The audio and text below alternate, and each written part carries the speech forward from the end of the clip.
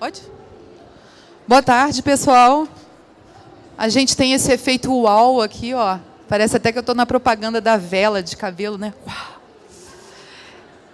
É, meu nome é Annelise Gripe, eu sou carioca, é, moro atualmente em Porto Alegre, porque eu sou consultora de tecnologia, faço transformação digital e ágil nas empresas.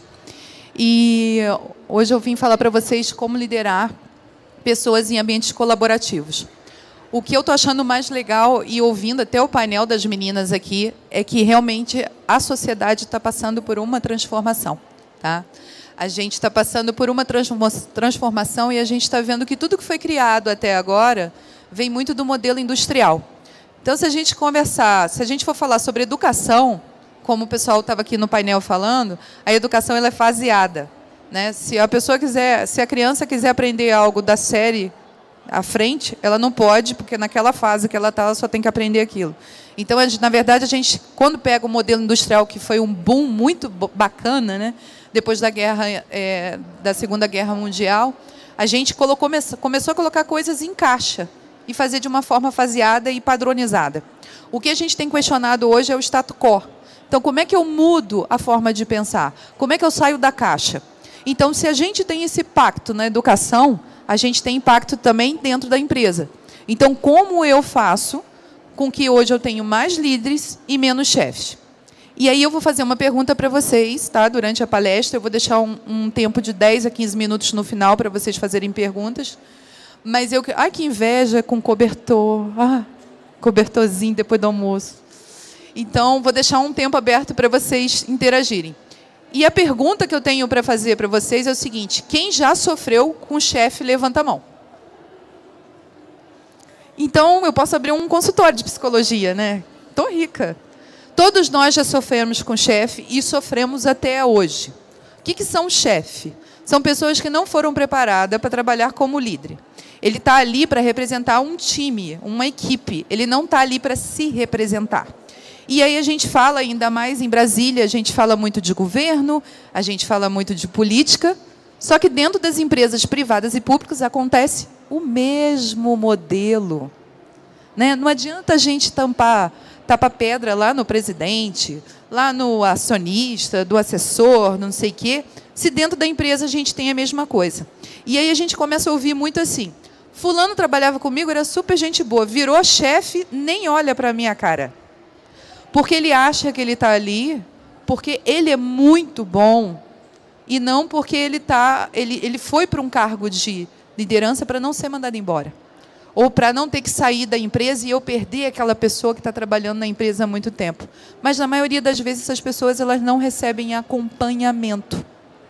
E por carga do destino, é, eu vim para Brasília e fiquei num quarto, dividindo o quarto com uma outra palestrante daqui que está passando por esse problema. Olha que interessante, né? Eu estava assim, como que eu começo a palestra? Como que eu faço algum gatilho? E ela falou assim, Annelise, é, eu acabei de virar líder de uma equipe eu não recebi preparamento nenhum, nenhum acompanhamento, nada.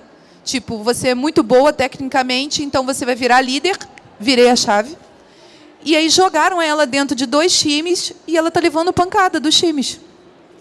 E aí fica o gestor acima dela batendo nela, porque ele quer que ela seja líder, e o time batendo nela, porque quer que ela seja líder. E ela não foi preparada. Olha que caos.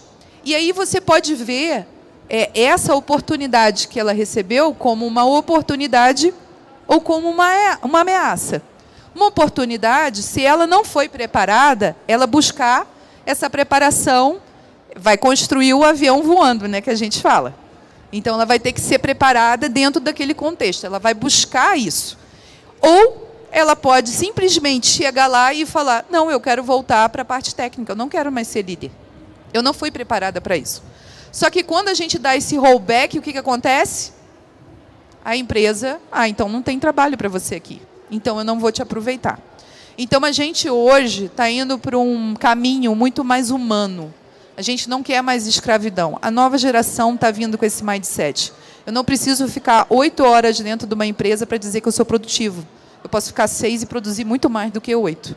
E aí a gente tem uma mudança, de, a gente tem um conflito muito grande. Porque quem paga já veio do modelo antigo, lembra? Oito horas diária, Sábado, domingo, folga. Se ficar depois do horário, eu tenho que pagar o extra. E aí eu tenho a garotada, ou o pessoal mais novo, que ah, eu quero entregar valor. Eu quero ter ferramenta, eu quero ter autonomia, eu quero que a empresa me dê liberdade para fazer as coisas. Então a gente tem um choque cultural enorme. E por isso eu fiz essa palestra. Então vamos começar. Aqui está meu Twitter e o meu site. Eu tenho mais de 200 artigos escritos, palestras, vídeos falando sobre vários assuntos. É, não me apresentei, eu tenho 24 anos de tecnologia, 11 anos só trabalhando com transformação ágil digital. Minha primeira profissão é pedagogia, por isso que eu me identifiquei muito com o painel que estava rolando aqui.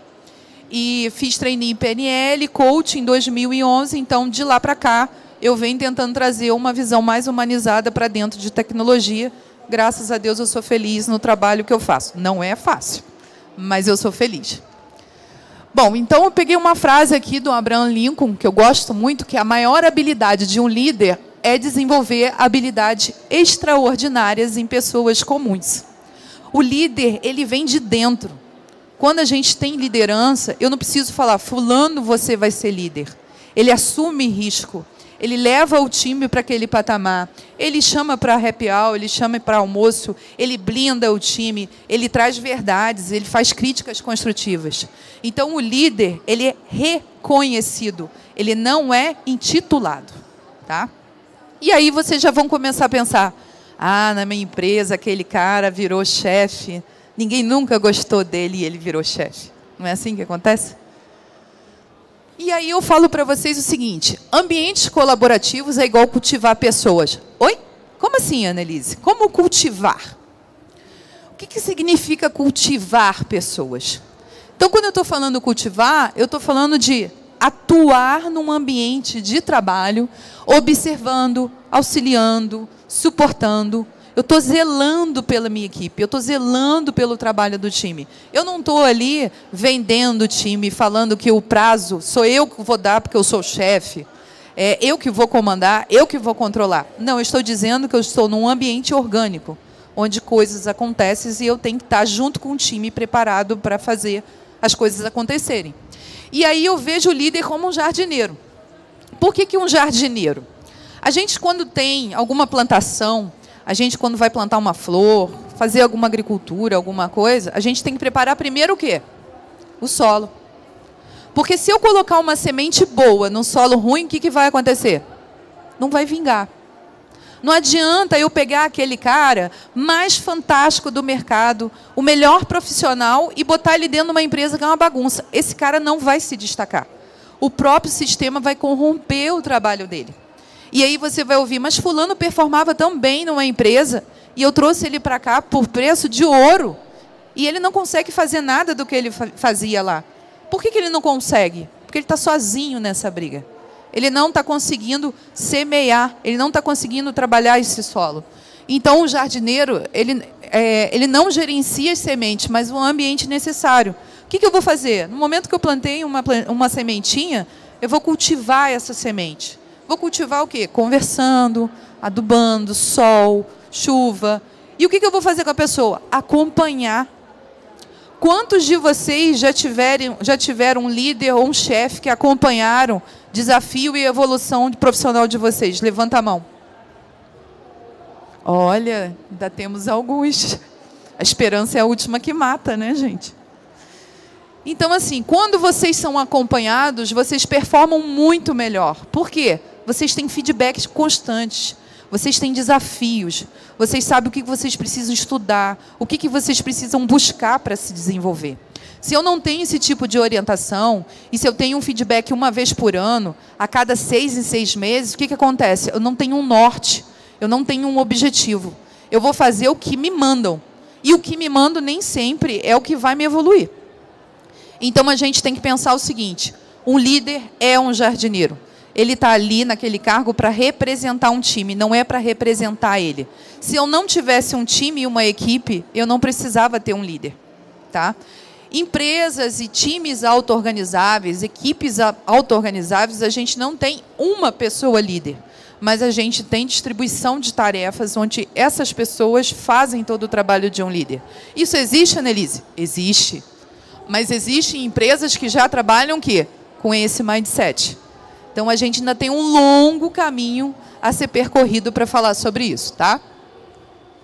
E aí eu trago esse quadro para vocês que a gente chama de chá. O que, que é o chá? É conhecimento, habilidade e atitude. Que vai formar o quê? Competência. Para eu falar que alguém é competente em algo que faz, eu tenho que dizer o seguinte: ele tem bastante conhecimento, ele tem habilidade e ele tem atitude. Annelise, isso a gente compra em farmácia? Não. Isso a gente faz com o acompanhamento de um bom líder, de um coach, de um RH que acompanha as pessoas. Então, na maioria das vezes, nos profissionais, a gente vai ver, eu tenho o conhecimento, mas eu não sei como eu vou aplicar. Eu não sei como eu vou usar dentro da minha área de trabalho. E tem um outro ponto que é a atitude. Se eu tive um chefe lá no passado que ficava gritando comigo, batendo na mesa e falando que eu era burra e incapaz de aprender qualquer coisa, vocês acham que essa pessoa vai ter alguma atitude proativa? Não. Ela vai criar o que a gente chama de crença limitante ou sabotador. Toda vez que ela tiver a oportunidade de fazer algo e se destacar, ela não vai querer fazer, porque ela vai ficar com medo de levar aquele rótulo de burro, não sabe, não conhece, não tem expertise para fazer esse trabalho. É triste, mas é a realidade, tá?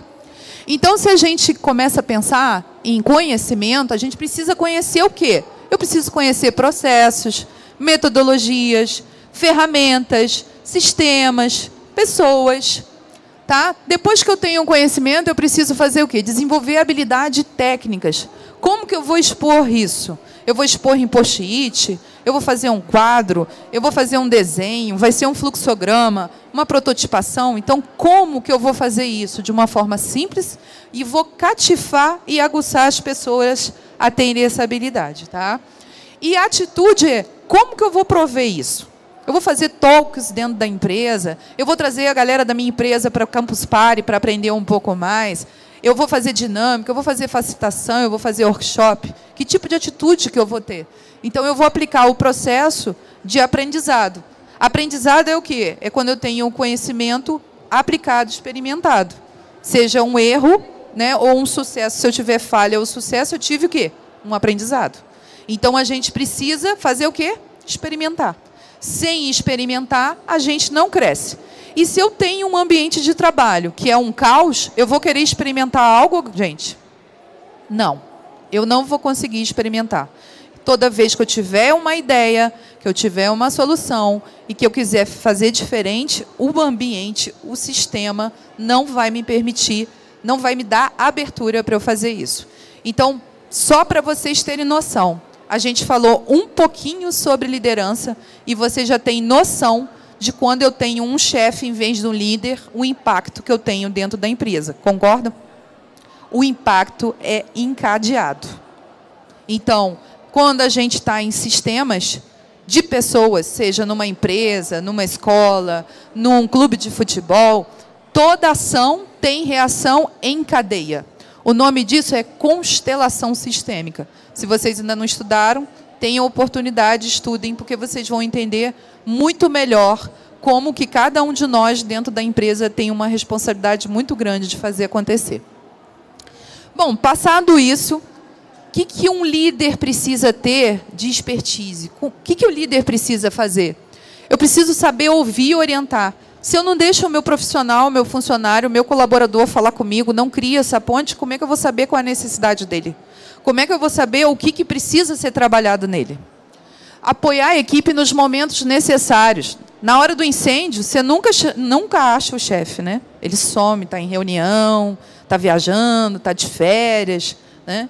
Então, na hora que o bicho está pegando, é a hora que o chefe tem que estar tá ali, o líder tem que estar tá ali. Ele está ali o quê? Motivando, trabalhando a equipe. Vamos lá, a gente vai conseguir entregar, a gente vai fazer acontecer. Esse daqui é a cereja do bolo. Dar e receber feedback sempre que possível. A gente vê na maioria das empresas que os gestores, os líderes dão feedback, mas não recebem. Né? Pimenta nos olhos dos outros é refresco. Troquei o palavreado porque está gravando, né? não posso ficar falando palavrão. Mas é isso que acontece. A gente precisa avaliar o gestor e o gestor precisa avaliar a gente. Por isso que eu botei ali o quê?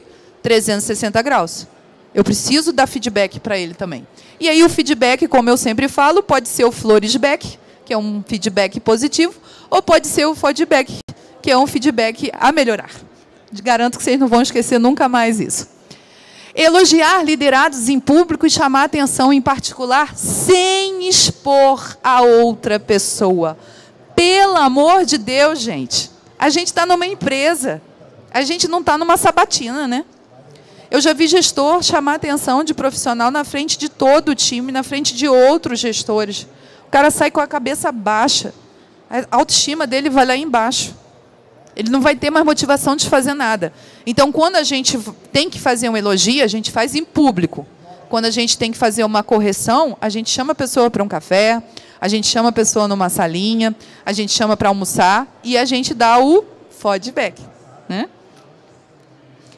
É, autonomia para gerar responsabilidade. Né? Não adianta eu ir lá acertar prazo, acertar o que vai ser feito, e na hora falar, não, não, eu vou fazer porque eu não confio que vocês vão fazer.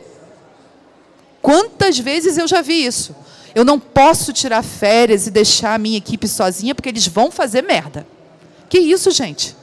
Você tem que confiar nas pessoas que trabalham com você. Focar nos resultados para alcançar metas. Time, equipe que não trabalha com meta, fica perdido. Não tem aquele ditado que qualquer barco, o barco que está com a vela solta, ele vai para qualquer lugar. Você não tem uma origem de destino. Então eu preciso ter meta nos times para saber o seguinte: o que, que eu, como colaborador, preciso atingir? Tanto tecnicamente quanto de negócio. E como pessoa. Quais são os desafios que eu tenho que atingir? Então eu preciso trabalhar com o quê? Com meta. Se eu não tiver meta e objetivo, vai ficar tudo solto. Tá? É, respeitar e confiar o time. Né? Eu já vi gestor chegando na reunião e falando: não, o meu time fez uma coisa muito errada lá, mas foram eles que fizeram. Oi? Cadê o, o pertencimento a um time? Então, eu sou Fluminense, ah, o Fluminense perdeu, não, não, agora eu sou Flamengo. Que isso? Né? A gente tem que estar comprometido com o que a gente está trabalhando.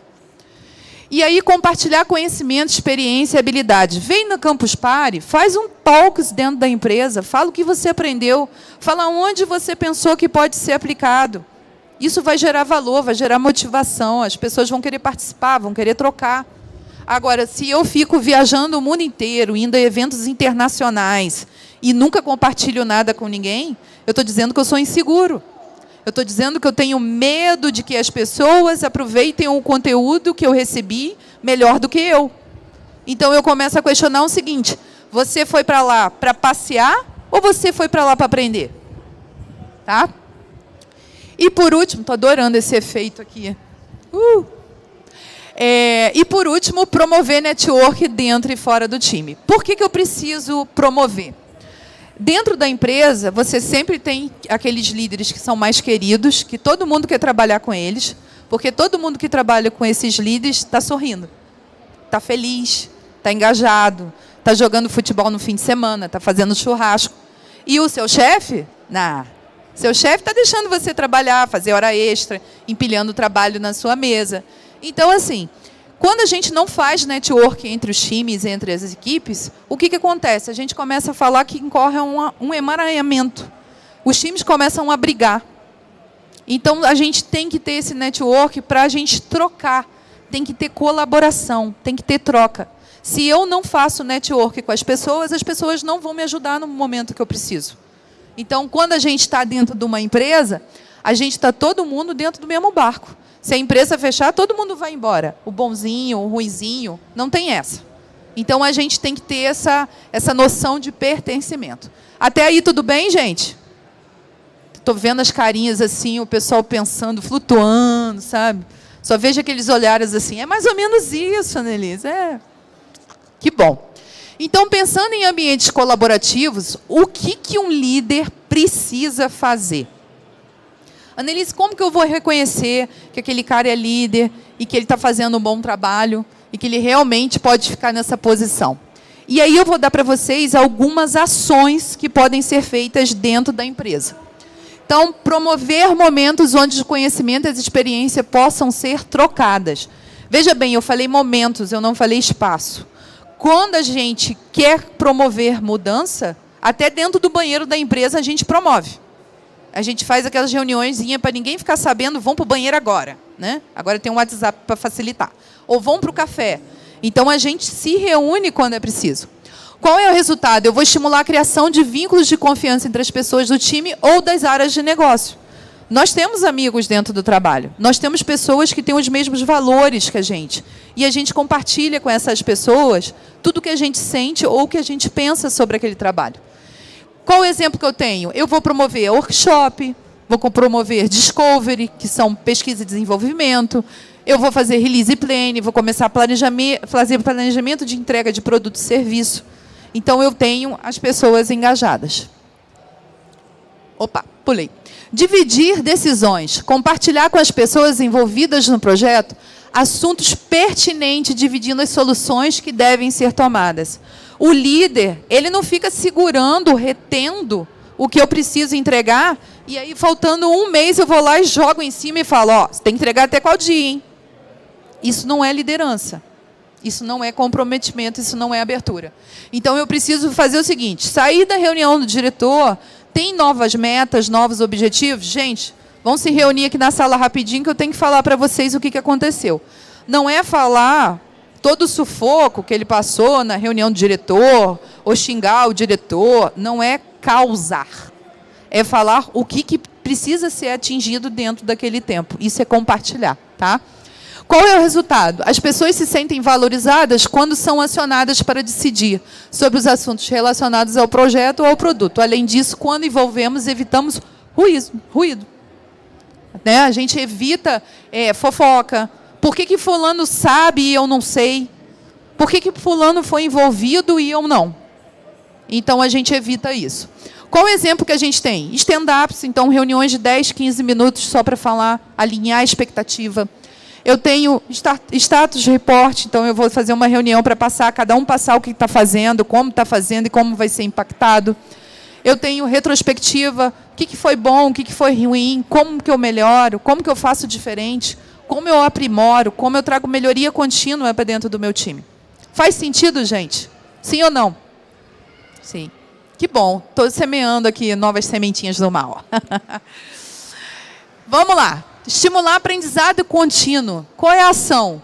Capacitar, treinar, informar as pessoas envolvidas no projeto, buscar conhecimento dentro e fora da empresa.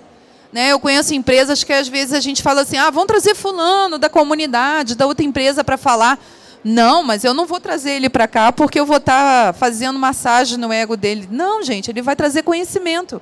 Não é a pessoa que está vindo, não é a empresa que está vindo é o conhecimento, é a experiência, tá? Qual o resultado que a gente tem? Valoriza o modelo de gestão, traz mais conhecimento para o time, gera inovação, criação de novos produtos e serviços, estimula o aprendizado. É, eu acho muito legal quando a gente tem grupos de estudo dentro da empresa e quando a empresa dá liberdade para isso ser criado. Então as pessoas começam a promover grupos de estudo, dali vira uma comunidade, dali começa a ter uma equipe de, de pesquisa e desenvolvimento, começa a ter desdobramento do trabalho, começa a engajar outras pessoas porque gera confiança. Então a gente começa a fazer uma roda toda girar. E são as pessoas. Quando a gente está falando de cultura de empresa, a gente está falando de gente. Cultura não se compra. Cultura só se muda com pessoas. Então, se a gente começa a promover esses ambientes, a gente começa a melhorar a cultura e criar engajamento. Qual o exemplo que eu tenho? Eu tenho Discovery Delivery, tenho pesquisa e desenvolvimento, eu tenho workshops, eu tenho treinamentos, eu tenho hackathon, hack day, eu começo a promover interações, conexões, tá? Internalizar valores da empresa. É muito legal quando eu sei os valores da empresa. Por quê? Eu tenho meus valores pessoais. Se os valores da empresa bater com meus valores pessoais, opa, bingo, achei um lugar legal para eu trabalhar. E se esses valores não batem? E se a empresa não declara ou publica esses valores para vocês? Fica mais difícil de eu saber o contexto. Eu fico sem saber se eu vou ter plano de carreira. Eu fico sem saber se eu vou atingir o objetivo, se eu vou ter promoção, se a empresa vai me oferecer no futuro trabalhar com novas metodologias, com novas tecnologias. Então eu preciso de meta, eu preciso de objetivo e eu preciso de visão futura, tá? Qual o resultado? Favorece comportamento ético. Ético é aquilo que eu faço e todo mundo vê. Não é o que ninguém vê, porque quando eu faço o que ninguém vê, eu posso fazer coisa errada. Então a gente tem que ter isso na mente. É, compatibilidade entre diretoria, acionista, funcionários, fornecedores, clientes sociedade. Quando esses valores são fortes, vocês vão ver que o diretor, o CEO, o CTO da empresa passa de manhã pela moça que faz a limpeza da empresa e fala: Bom dia, tudo bem com a senhora? Isso é valor. Eu estou dizendo num bom dia para ela que eu valorizo o trabalho que ela faz dentro da empresa, assim como o meu também. Então, se a gente não, não dissemina esse valor, a gente perde o quê? A cultura da empresa. Tá? Exemplo disso, eu tenho reuniões periódicas com os colaboradores. Um bom líder, seja diretor, CEO, CTO, ele sempre fala para a equipe, para os times, para as pessoas da empresa, para onde a empresa está indo. Se a empresa está no débito, se a empresa está no crédito, se a empresa recebeu investimento, se a empresa foi comprada, se a empresa foi vendida, se ela foi disseminada em outras empresas, startups, então a comunicação tem flui, tá? Isso gera confiança. Socializar equipes, essa é a melhor parte, né? Promover atitudes e boards que façam com que os membros das equipes se comuniquem de uma forma objetiva, sem ruídos.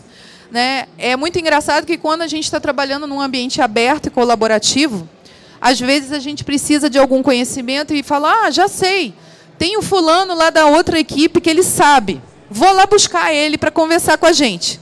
E aí, quando eu vou lá buscar, o gestor dele fala, não, não, não, ele não pode sair daqui agora, não. Ele está codando. Não, mas eu já falei com ele, ele falou que me dá uma mão. Não, não, agora ele não pode sair daqui, não. A impressão que dá é que eu estou trabalhando com silos e não com colaboração. Se eu preciso de uma informação rápida, pequena, onde a pessoa está ali e ela vai me ajudar, por que, que eu vou criar impedimento?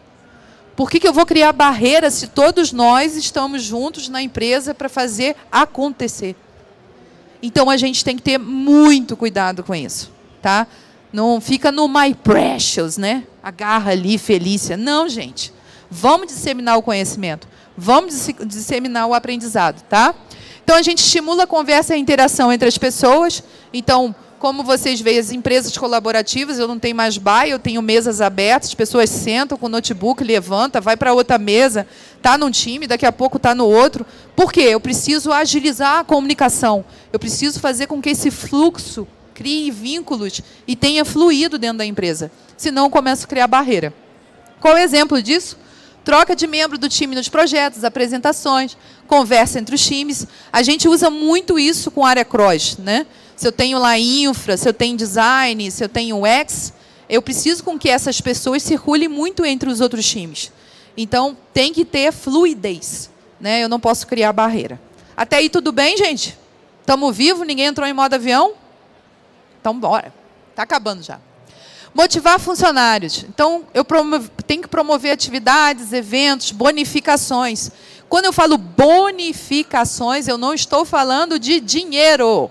Dinheiro corrompe uma sociedade. Dinheiro corrompe valores. Eu estou falando de dar vale cultura para a pessoa ir num evento, para a pessoa ir no cinema, para comprar um livro, dar um curso para essa pessoa, um treinamento, pagar a inscrição do Campus Party para ver o que, que vai ter de novidade.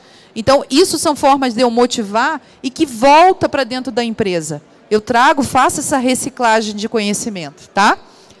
É, que, exemplo que eu tenho, hackathon, eventos, feedbacks, pesquisa de clima, facilitações. Né? Quando eu estou falando de pesquisa de clima, é importante eu ouvir o meu funcionário, o meu colaborador. Ele está satisfeito com o ambiente de trabalho? Ele está satisfeito com o salário dele? Ele está ele tá satisfeito com o ambiente que ele está tá ali dentro, proposto, trabalhar? Então, isso tudo a gente precisa ouvir e melhorar. Não é para criar planilha, não é para criar Google Forms, mas é para agir em cima do que a gente levantar, tá? Então, a última frase que eu deixo para vocês é: para ser um líder, você tem que fazer as pessoas quererem te seguir. E ninguém quer seguir alguém que não sabe para onde está indo. Tá? Então a gente inspira, a gente inspira, a gente motiva por ação, não são por palavras. Eu estou aqui na campus, estou muito feliz de ver que a palestra está lotada, que está bastante cheia, porque eu sei que cada um de vocês vão levar alguma informação daqui para a vida de vocês, profissional ou pessoal. Então, isso é inspirar. Eu estou aqui agindo. Eu estou aqui falando da minha experiência para vocês. A gente não consegue fazer com que as pessoas sigam a gente se a gente não agir, se a gente não se comprometer, não botar a mão na massa. Ninguém faz, ninguém tem resultado se não botar a mão na massa, tá, gente? Muito obrigada. Valeu. Aqui estão os meus contatos, tá? Eu sou uma pessoa super acessível. Viajo o Brasil todo dando palestra, é, tem muito material para dar. No site tem muita coisa sobre líder e chefia, porque é uma rebeldia que eu tenho dentro de mim, até por ter tido uns chefes bem carrasco na vida.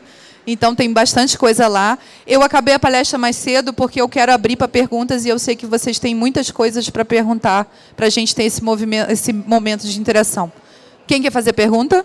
Opa, já temos um candidato. Microfone. Levanta a mão.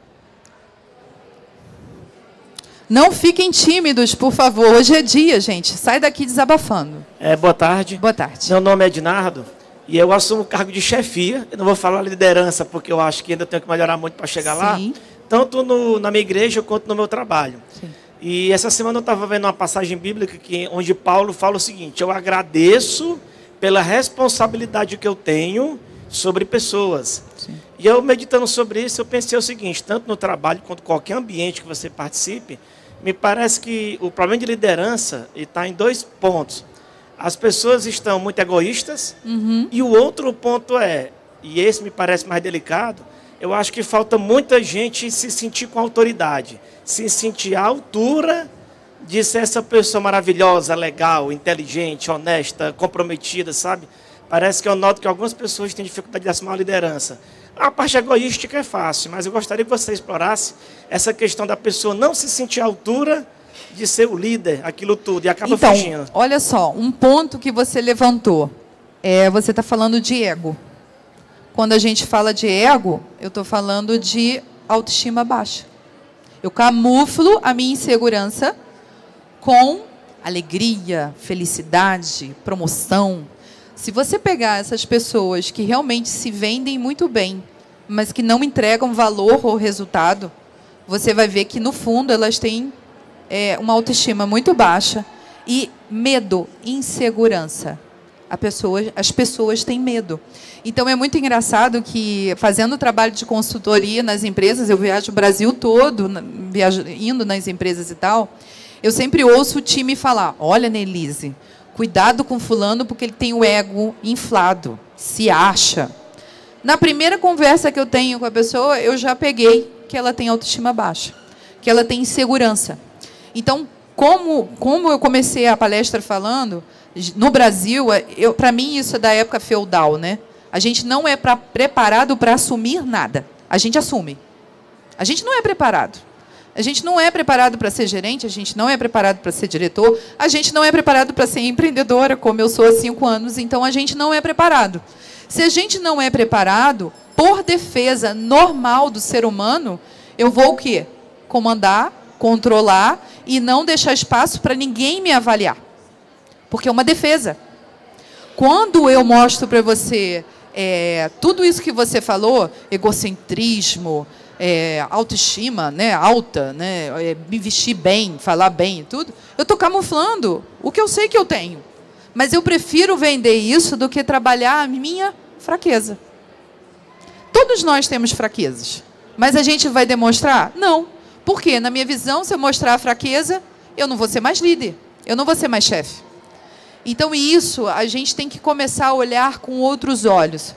É muito engraçado com essa frase que eu coloquei aqui antes, porque eu costumo falar assim: eu faço coaching em comunidades femininas, ajudo mulheres, empodero pelo país todo. E eu recebo muita reclamação disso, de chefe, de machismo, de problema no trabalho. E o que eu falo é o seguinte: você chuta cachorro morto? Não. Você perde tempo de brigar com aquele cara que está ali, não está te atrapalhando em nada? Não. Você vai brigar, você vai causar, você vai envolver pessoa em confusão e fofoca. Por quê? Porque aquela pessoa está fazendo algo que você gostaria de fazer, mas que você não tem coragem para fazer, você tem medo.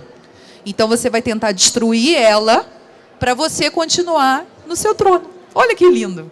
É pura psicologia. Então, quando você identifica essas pessoas, você não precisa entrar nessa seara deles. Você precisa olhar com outros olhos. E muitas das vezes a gente fica até com pena. Porque você começa a ver assim: teve alguma coisa no passado que fez essa pessoa reagir dessa forma e ela reage por defesa. Então, seja pelas empresas que trabalhou, pelo sistema que teve, pelo feedback que não houve, por algum problema familiar que a pessoa sempre foi tratada mal e de repente ela consegue um cargo de liderança e ela agora eu vou esfregar na cara da família toda quem é o perdedor. Não é assim? Então a gente a gente tem defesas, né? A gente cria defesas. Então, eu como coach, eu não, não procuro julgar as pessoas, eu procuro entender por que, que a pessoa está tendo aquele comportamento. E aí eu sim trabalho isso para que seja melhorado. Respondeu? Pergunta, gente. Bom. Eita, agora surgiu um monte. Ó, que legal. Olá, Anne. Olá, tudo bem? Muito obrigado Nada, pela oportunidade de ver essa palestra. Obrigada. Queria dar um feedback a todos que realmente tudo que você passou funciona. Eu tenho a oportunidade de aplicar e já ter aplicado isso com a minha equipe. E o resultado é realmente É fascinante, mágico, né? é mágico. Parece que deu droga para todo mundo e está todo mundo flutuando, né? Agora eu tenho uma questão que eu queria que você comentasse, se possível, que é o seguinte: é, a minha equipe, eu vejo todos eles como futuros líderes. Então, tecnicamente, todo o feedback que eu passo ou faço com que eles vejam é para futuramente transformar eles em futuros líderes, Uhum. pessoas que estejam no mesmo cargo que eu estou ou futuramente voltar.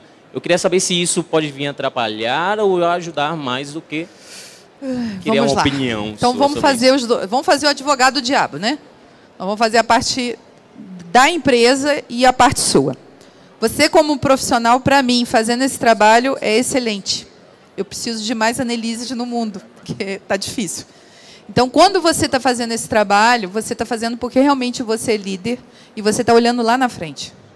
Você está desenvolvendo pessoas. E isso, quando você vê eles começarem a crescer, a voar, como eu digo, isso vai te dar uma satisfação enorme que o dinheiro não paga. Que é você ter ajudado essas pessoas a se encontrarem. E essas pessoas vão ter uma gratidão tão grande com você, porque elas sabem que você fez mais do que você deveria, que você também nunca mais vai ficar desempregado ou ninguém vai te odiar, porque eles vão te levar para onde eles forem. Para a empresa, e aí eu não conheço o contexto da sua empresa de cultura, eu posso aproveitar essas pessoas internamente na empresa para assumir cargo de liderança no futuro, ou se eu tiver num sistema de caos, eu posso achar isso muito ruim. Porque se a empresa não absorver essas pessoas, elas vão embora da empresa. E quando eu falo absorver, é absorver pela expectativa que foi criada. Então, se eu não, se eu se eu trabalho essas pessoas, desenvolvo para elas assumirem cargos e crio expectativas nela e essa expectativa não é atendida, elas vão sair da empresa. Então, assim, por isso que eu falei que você tem os dois lados. Tem um lado bom e tem um lado ruim. Se eu sou dono de empresa, eu acho isso sensacional. Porque o mais difícil é você ter pessoas que acompanhem e ajudem essas pessoas a evoluir. Então, eu prefiro pegar esse cara e que ele vire líder de outra área de negócio, mas eu sei que ele está preparado, do que trazer alguém de fora que não conhece a empresa, não conhece o processo, não conhece as pessoas. Então, para mim, o seu trabalho é fundamental. Eu não vejo nada de ruim no que você fez. Eu vejo que, dependendo dos cenários, você pode fazer ser próspero ou não. De qualquer forma, o que eu falo com vocês é o seguinte: a empresa é um parque de diversão. Você pode aproveitar ela para você aprender ou para você se queimar. Se você aproveitar e ver todo o trabalho que você tem como uma oportunidade de carreira, você pode ficar nessa empresa e ser aproveitado ou não, ou ser aproveitado em outra empresa, mas perder você nunca vai. Então eu, pelo menos, vejo desse lado. Espero ter respondido. Mais pergunta? Tá, depois tem um. Não, ele vai ficar aqui com cãibra, coitado. Né? Boa tarde, Annelise. Boa tarde. Primeiro, gostaria de agradecer. Muito eu imagino que nesses poucos minutos já aprendi tanto, imagino se tivesse mais tempo. Obrigada. E hoje eu sou presidente do Núcleo Central de Idiomas e Cultura da Universidade Católica de Brasília. Olha. Que é um núcleo de iniciação à pesquisa científica e projetos de extensão. E para mim é um desafio e eu tenho essa isso tem é, retornado constantemente aos nossos debates e eu jogo para você para saber do seu ponto de vista. Quais são os limites da autonomia do líder para confiar no próximo? Porque às vezes é como se o limite da autonomia fosse muito tênue e a gente às vezes não sabe quando tem que tomar as rédeas e quando deixar o, o colaborador é, livre. Sim. E outra pergunta também que eu te faço é como a gente melhorar, enquanto líder, a nossa confiança no nosso colaborador. Sim. Porque às vezes é um desafio você confiar de que as metas serão cumpridas, de que os projetos serão entregues. E aí, como líder, não sei se sou só eu ou se tem alguém que compartilha dessa perspectiva, parece um desafio Sim. confiar no próximo, Sim. principalmente para entregar bons resultados. Obrigada. Ah, nada, eu que agradeço. Uma honra. É, então, se a gente for falar de confiança e autonomia, as duas estão andando muito juntas, tá? O que, que eu faço de confiança? Aí eu vou falar. Eu gosto muito de testar as pessoas. Eu sou uma pessoa que eu testo. Eu faço deploy sempre, né? Fico só testando. Então, assim, é, se, eu, se tem alguma pessoa no time que eu já. Algumas frases, algumas palavras já me deixaram com a pulga atrás da orelha, eu começo a dar tipo de informação para ver se ela vai me dar o retorno que eu estou esperando. Então ela pode me surpreender e eu falar, não, não era nada disso. Ela estava passando por um momento e teve esse tipo de reação. Ou eu posso falar, não, cara, é isso mesmo. Essa pessoa tem esses valores. Eu sou muito de descobrir o que, que move as pessoas. Então, se, se move ao dinheiro, ela vai, ela vai fazer qualquer coisa para ter dinheiro. Ela não quer amigo no trabalho, ela não quer, ela vai querer virar chefe para ter status e poder, porque andam juntos. Então, a dica que eu te dou é o seguinte: o que, que move aquela pessoa? É, vou dar uma dica para vocês. Tem um jogo chamava, chamado Multi Motivator. Para mim é carioca, é fogo, né? É triste. É, esse jogo são o quê? São 10 cartinhas. Cada cartinha dessa tem uma classificação. Então tem meritocracia, maestria, é, dinheiro, tem trabalhar em conjunto, tem várias coisas ali. Pega essas pessoas, 30 minutos, uma pessoa por vez, porque os valores são diferentes, e fala com ela para priorizar essas cartinhas do, menor, do que tem mais importância para o que tem menos. Ali você já vai saber o que, que move aquela pessoa. Então a pessoa pode estar numa empresa porque ela quer ganhar dinheiro, ela pode estar na empresa porque ela está muito motivada e pilhada a trabalhar com aquela equipe ou porque ela acha aqueles produtos fantásticos e ela quer fazer parte daquilo. Então vocês viram que eu tenho motivações diferentes e pessoas diferentes. Enquanto você não souber o que motiva a pessoa, você não vai saber o quanto você pode confiar e muito menos autonomia para dar para ela. A autonomia ela só vem com a confiança. Então você vai dando pequenos, é igual criança, é a mesma educação. Eu vou dando pequenas ações para serem feitas, e em cima do retorno eu vou vendo o resultado que teve. Então, se o resultado foi bom ou se foi acima da expectativa, eu posso dar mais autonomia porque ela está confiando no meu trabalho. E assim você vai fazendo toda a cadeia. Então, espero ter ajudado. Tem tempo para mais uma pergunta? Eu tô boa demais nisso, gente. O cronograma tá indo vento e poupa. Boa tarde. Boa tarde. É, quando você falou sobre aquela questão de, do elogio em público. Isso. E quando for chamar a atenção, em um lugar mais reservado. Isso. Essa questão do elogio em público, dependendo do ambiente de trabalho, se não for um ambiente muito saudável, será que não pode causar talvez um pouco de inveja ou intriga entre as pessoas? Pode. Inclusive, eu vou te falar uma coisa. É, já trabalhei numa empresa, vocês vão morrer de rir, gente. Já tive tanto cenário que eu ainda vou escrever um livro assim, igual o meu amigo Pokémon ali, só de stand-up, só para vocês rirem das coisas que eu já passei. Para você ter noção, eu já trabalhei numa área que tinha uma planilha para as mulheres engravidar. Engravidarem. É. Então, assim, só pode engravidar uma mulher a cada semestre. Então, é. Não, eu já passei por coisas assim surreais. É. Já teve chefe que virou para mim e falou: se você quiser é, ganhar um aumento, seja minha amante. Eu falei: ah, mas você está muito lindo para ser sua amante, né? Então você ouve de tudo. Mulher na área de tecnologia é assédio moral, tipo, quase todo dia. Já me botaram numa sala e mandaram eu ir embora do estado porque eu não era bem-vinda. Eu já passei por muita coisa. Só que eu levo isso tudo o seguinte: se as pessoas estão fazendo isso comigo é porque eu estou incomodando, certo? Então, se eu estou incomodando, eu vou continuar incomodando, que é muito melhor do que entrar em depressão. Então, a gente tem que ver por esse lado. É, voltando sobre elogio, é, uma vez eu falei para um coordenador que trabalhava comigo assim: olha, você descasca muito o pessoal, você dá muita pancada no pessoal, o pessoal fica aqui até tarde trabalhando. Compra uma caixinha de bombom, chama o pessoal para um almoço, né? faz uma, um carinho, pelo amor de Deus. Né? Tudo bem que são homens, mas todos nós temos sentimentos. E ele falou: Você quer o quê? Que eu fico elogiando? Eu vou elogiar. Todo dia ele elogiava. Aí já estava ficando chato. Tipo assim, tá ficando falso, é fake, sabe? Aí o pessoal chegou e falou assim: O que, que você falou para ele, Annelise? Não, porque isso é coisa sua. Eu falei: ah, Eu falei que ele tinha que elogiar mais você, mas todo dia tá chato, né? Já tá demais. Então, assim, o elogio são doses de motivação que você dá. Se o time fez uma entrega boa, é, entregou algo que estava lá há muito tempo para ser entregue e tal, cara, às vezes vale a pena você tirar até do seu bolso, chamar o pessoal para uma rodada de chopp, é, faz, levar o pessoal para algum evento, alguma coisa. O elogio, você pode fazer ele, se você está dentro de um ambiente de caos e acha que pode gerar é, competição ou pode gerar inveja, chama o time para a sala de, uma, de, reunião, põe o time lá e fala, gente, queria, eu chamei vocês aqui para parabenizar o trabalho de vocês, a empresa inteira está muito satisfeita com a entrega, a gente não tem momento de comemorar agora, mas nós vamos comemorar lá na frente. Pronto. Se você está num ambiente de caos, você pode fazer isso. Se você não está num ambiente de caos, cara, você pode bater palma. Eu não sei se vocês. Alguém aqui já foi em call center? Levanta a mão. Você vê como o call center trabalha, você vai falar assim, é meio loucura, né? Porque o cara tem que atender as pessoas é, no chamado tem três minutos. Eles têm um tempo médio de atendimento de três minutos. E eles têm meta para bater.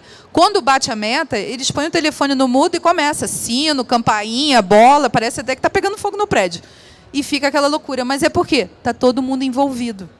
Quando você vai para áreas comerciais que têm metas de entrega, meta de venda, quando eles batem a venda, toca sino, o pessoal brinca, para para tomar chopp. É, tem um filme do, do daquele Leonardo DiCaprio de dinheiro financeiro que mostra muito bem isso dele ter metas lá para alcançar e quando eles alcançavam ele batia, todo mundo parava de trabalhar e tinha chopp, tinha champanhe e tal. Então assim, cada pessoa vai ter uma forma de fazer e cativar. Então o elogio ele tem que ser dosado. É a mesma coisa criança. Se você ficar elogiando muito ela e o dia que você não elogiar ela vai chorar. Então você tem que fazer de forma dosada para realmente não ter problema. Respondeu? Mais pergunta? Acabou? Aí tem um. Ah, na hora que ela levantou a mão. A última. Oi, tudo Oi, bem? tudo bem. Meu nome é Lilian, trabalho Oi. na área de testes, então, o fim do mundo, né?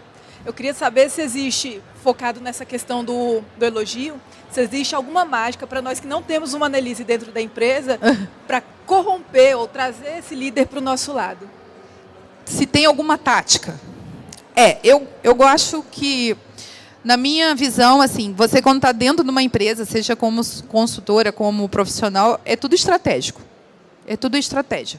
Você pode fazer isso de uma forma bem banal, que todo mundo vê que você está querendo ficar amiga do cara para ir trabalhar na área dele, entendeu? Que fica visível. Ou você pode fazer isso de uma forma muito natural, trabalhando, mostrando o resultado.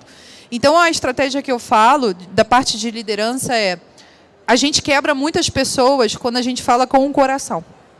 Eu sou uma pessoa que eu falo com o coração. Eu prefiro muito mais ser transparente e falar assim, Poxa, eu gostaria muito que você fizesse dessa forma, porque eu acho que vai ser mais legal. Ah, Nelise, mas se eu fizer dessa, você pode fazer, mas eu acho que você fazendo da outra, as pessoas vão se engajar mais. E aí, se ela vai e faz, as pessoas se engajam. Ah, Annelise, fala mais coisa para eu fazer. Porque às vezes a pessoa não tem ainda esse tato com as pessoas. Eu conheço gestor que tem medo de gente. Já ouviram isso, gente? Gestor com medo de gente. Annelise, eu não sei como é que eu vou falar. Como é que eu vou falar isso? Como é que eu vou chamar a atenção da pessoa? Como é, que, como é que eu vou dar feedback? Então, assim, chamar atenção. Chamar atenção, essa frase, para mim, já me remete a chefe. Porque parece até o pai que está corrigindo o filho, né? Eu vou te chamar atenção. Né? Pega o chicote lá e bate. Não, eu vou melhorar, vou fazer uma crítica construtiva. Então, as palavras, quando você conversa, já diz muito como a pessoa, como a pessoa pensa e como ela age. Então, o que eu te dou de dica é como que eu identifico e trabalho isso? Procure ouvir as palavras que falam. Quem é chefe vai falar muito de comando e controle. Eu mando, sou eu que decido, está é, tá na minha mão, isso é meu, eu que vou resolver essa história. Então você vê que o cara, as palavrinhas que ele usa já faz parte. Eu tenho um time para mim. O time vai desenvolver o que eu quero. É tudo posse, né? My precious. Garla. E já um líder, se você for ver um líder, não, nós vamos fazer, nós vamos construir, eu vou ver com o time para te dar um prazo. É tudo compartilhado. Ele não assume sozinho. Então, pelas palavras, você já consegue trabalhar. Gente, fechou, senão o pessoal vai me matar. Muito obrigada, tá? Boa campus para vocês. Valeu.